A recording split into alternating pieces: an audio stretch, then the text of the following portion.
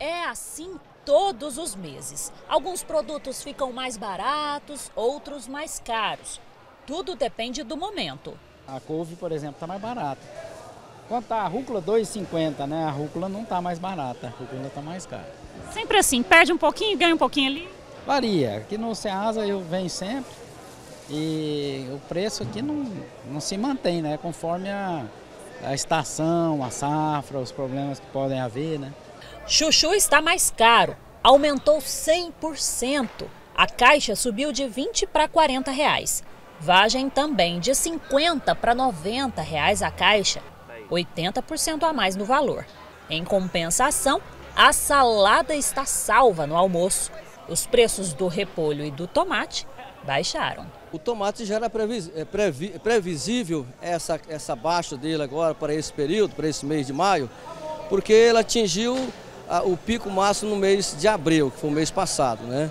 E já estava algumas previsões de colheita de novas, novas roças, vamos dizer assim, e que com, com essas novas roças que, sa, que sairiam, seriam colhidas agora, a previsão era de queda mesmo, como ocorreu. Com o inverno chegando, as hortaliças ficam mais bonitas e mais baratas também.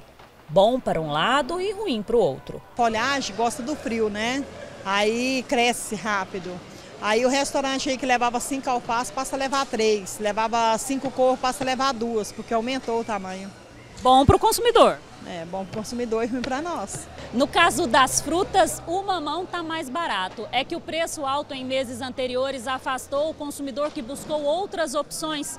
Sobrou o produto, forçou o preço a baixar.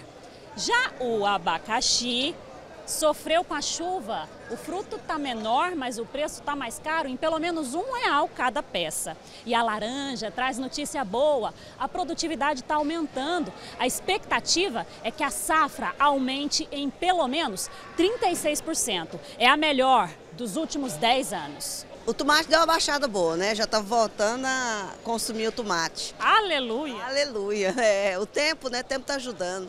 Então, se é para economizar de verdade, só existem dois jeitos: criatividade e pesquisa.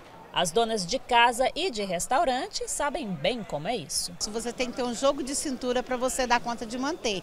O dia que não pode colocar uma coisa, coloca outras, porque tem que ter várias variedades para o cliente estar sempre com você. Vai no mercado, compra uma coisa mais barata, vai em outro mercado, compra outra coisa mais barata. Tem que pular feio.